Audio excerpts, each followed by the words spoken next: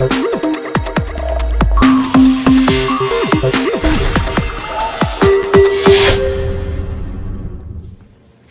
guys, here in New Jersey the uh, Powerball, which is one of the local lotteries, is 510 million. I don't buy the lottery too often, but I think I might go buy some lottery tickets. The next drawing date is Saturday, uh, August 19th, and just curious, what would you do with 510 million dollars? Go get your ticket. It's only $2.